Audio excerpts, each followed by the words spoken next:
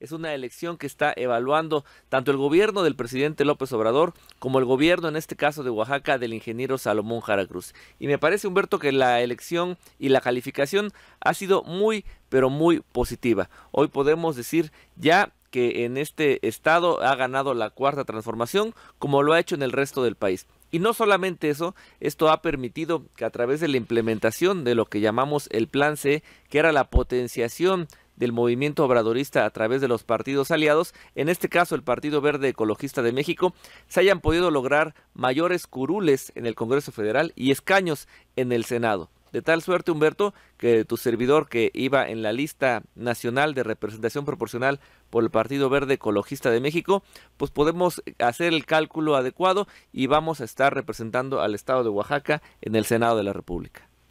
Y em, representa esto que en teoría el estado de Oaxaca tendrá entre seis, probablemente siete senadores. Al parecer, de acuerdo a los cálculos que se han hecho en efecto, son tres de mayoría relativa y tres senadores por la vía de la representación proporcional.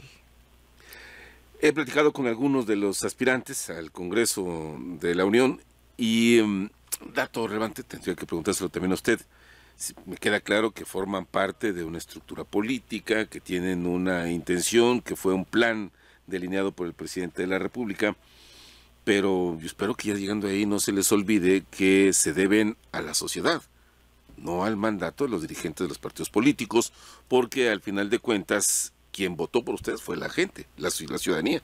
Exactamente, Humberto. Y como te decía, este voto del 2 de junio es un voto, yo diría, plebiscitario, un voto de calificación. Había mucho ruido previamente a las elecciones en encuestas, en esta comentocracia nacional, que se auguraba un muy mal resultado para la coalición, para el proyecto obradorista, para el proyecto de la transformación que encabezaba la doctora Claudia Sheinbaum Pardo. Pero bueno, el resultado ahí está. El pueblo de México, el pueblo de Oaxaca decidió votar a favor de la continuidad de este proyecto y en atención a este voto, en atención a este mandato que tenemos en las urnas, es que continuaremos apoyando la cuarta transformación, que hay que decirlo, en Oaxaca ha sido un parteaguas. Para Oaxaca hay un Oaxaca antes y un Oaxaca después de Andrés Manuel López Obrador y de la Cuarta Transformación. Proyectos como el transísmico, proyectos como la conclusión de las carreteras, la pavimentación a las cabeceras municipales, los derechos bienestar, me parece que sin duda para un estado como Oaxaca que tiene tantas necesidades estructurales, la Cuarta Transformación es lo mejor que nos pudo pasar llevará algunos elementos eh, prioritarios al Senado de la República, porque digo, algunos de los que hicieron campaña traían sus propuestas. Algunos están en la sombrita pero al final de cuentas ya estando en el Congreso tiene la misma responsabilidad. Pues eh, eso de la sombreta yo diría que es muy relativo porque estuvimos apoyando y continuamos apoyando constante y permanentemente en el interior me, me refiero a las propuestas, ¿eh? a mí me queda claro que anda usted ahí dando vueltas como pirinola en el Estado, pero me refiero a las propuestas. E, exactamente, las propuestas son las que impulsa el movimiento Humberto. Tenemos ya 20 iniciativas de reforma que se encuentran en estudio en el Congreso de la Unión, reformas que tendremos que impulsar, reformas que tenemos que socializar y reformas que el pueblo de México tiene que apropiarse y discutirlas.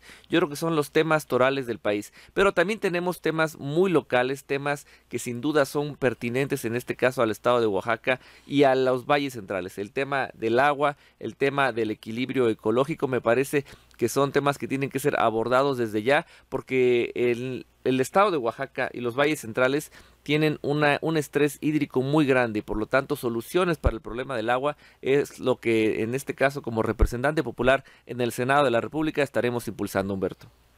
¿Quiere usted algo más, Luis Alfonso? Pues agradecer la participación, Humberto, agradecerle al pueblo de México, agradecerle al pueblo de Oaxaca. No les vamos a fallar. El estado de Oaxaca estará muy bien representado en el Senado de la República y esperemos contar siempre con la confianza del pueblo de Oaxaca. Y recuerden que la cuarta transformación es honestidad y justicia y es renovar la moral pública. Este 2 de junio ha quedado claro que el pueblo de Oaxaca quiere continuidad en la transformación.